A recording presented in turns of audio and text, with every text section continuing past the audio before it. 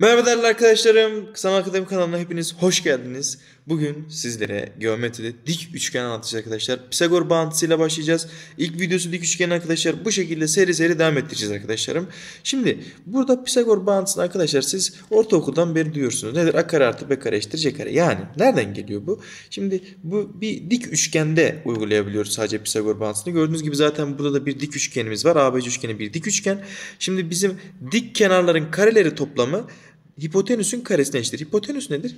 Hipotenüs dik açının karşısındaki kenara denir. Yani burası ne olur? Hipotenüs. Aynı zamanda hipotenüs bir üçgenin en uzun kenarı oluyor arkadaşlar. Şimdi bakıyorum bak benim buradaki dik kenarlarım arkadaşlar. Dik kenarlarım bak şu AB ve şuradaki BC kenarlarımız arkadaşlar bizim neyimiz oluyor? Dik kenarlarımız oluyor. Ve bu 90 derecenin karşısındaki kenar olan da ne oluyor? Şurası yani hipotenüsümüz oluyor arkadaşlar. Ve biz burada bir Pisagor bağıntısı kurduğumuz zaman dik kenarlardaki kenar uzunlukların kareleri toplamı yani c kare artı a kare dik kenarların kareleri toplamı eşittir. Hipotenüsün kenar uzunluğunun karesi arkadaşlar. Bunu çok sık kullanacaksınızdır. Şimdi bu soruya baktığımız zaman Bizim burada aşağıda üst üste konulmuş 8 cm uzunluğunda iki cetvel gösterilmiştir. Buna göre x ile ifade edilen uzunluk kaç santimetredir? Şimdi cetvelin arkadaşlar her yani birim birim değil mi cetvel? Mesela 3 ile 4 arası 1 birim 1. 4 ile 5 2 3 4.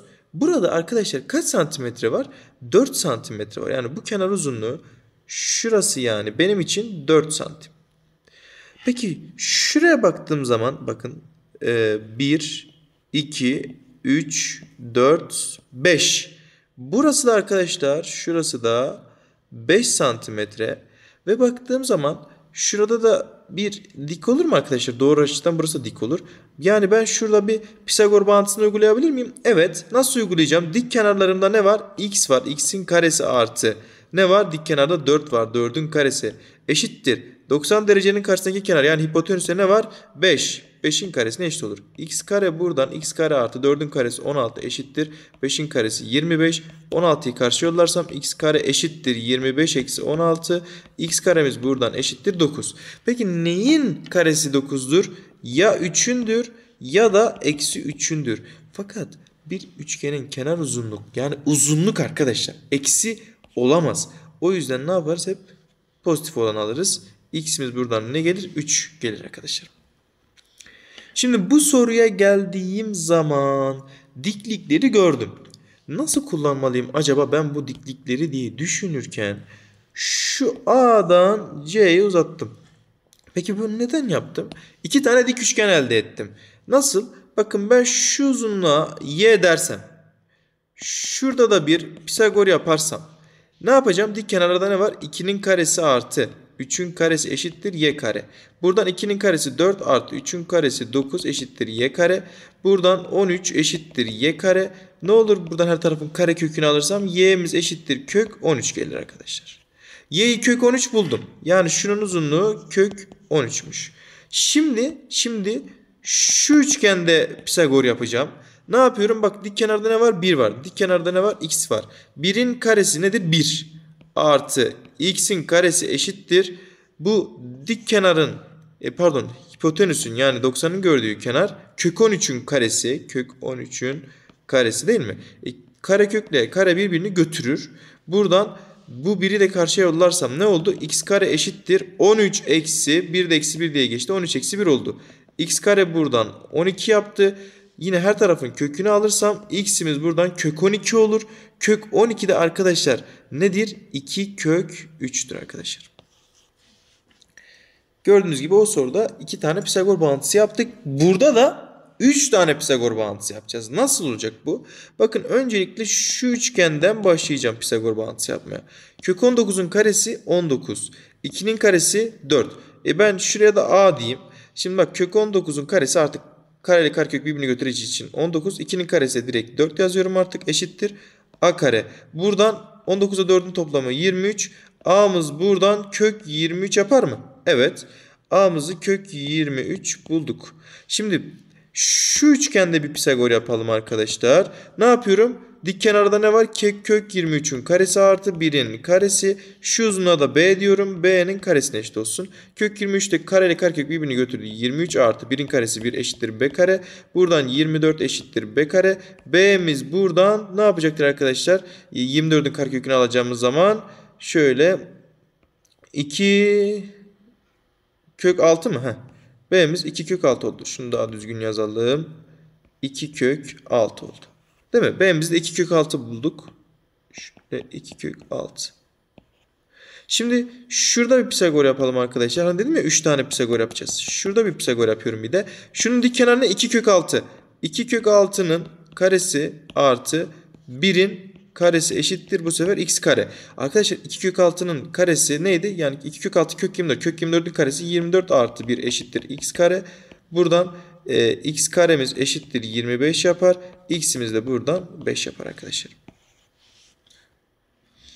Şimdi bu soruya geldiğim zaman arkadaşlar bu soru tarzları denemelerde çok karşınıza çıkacak ve önemlidir de. Lütfen iyi dinleyin burayı. Şimdi bakın şurada ben tam şu BC kenarına paralel olacak şekilde şuraya bir dik indiriyorum arkadaşlar.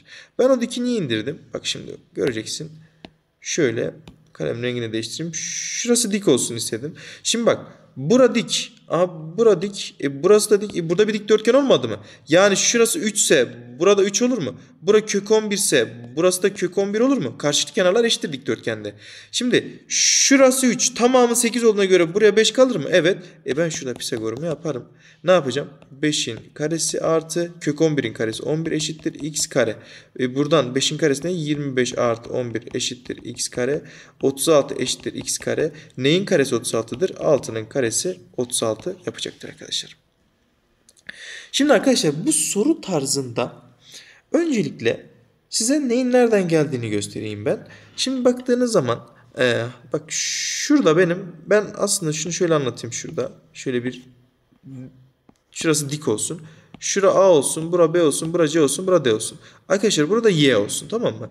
Ben burada iki tane Pisagor yapacağım. Şimdi öncelikle şu yıldızlı üçgende Pisagor yapıyorum. Benim buradan A kare eşittir B kare artı Y karedir değil mi? Sonra şu üçgende Pisagor yapıyorum. Y kare artı C kare eşittir D kare olur değil mi? D kare. Şimdi bak her ikisinde de bizim şu y karelerimiz ortak. O yüzden ben bu y kareleri yalnız bırakacağım. B kareye karşı yolluyorum. Şu da c kareye karşı yolladım. Y karemiz buradan eşittir a kare eksi b kare oldu. Buradan da bizim e, y karemiz e, yalnız bıraktığım zaman y kare eşittir e, d kare eksi c kare olur arkadaşlar.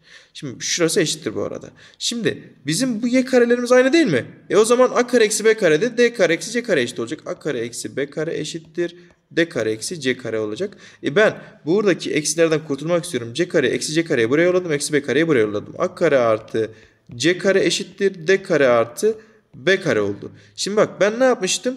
Burada a kare artı c kare eşittir değil mi? d kare d kare artı b kare oldu. Yani karşılıklı olarak ne yaptı? Bunların kareleri toplam birbirine eşit oldu. E ben bunu burada uygulayayım. Şimdi bc'nin tamamı 10 değil mi?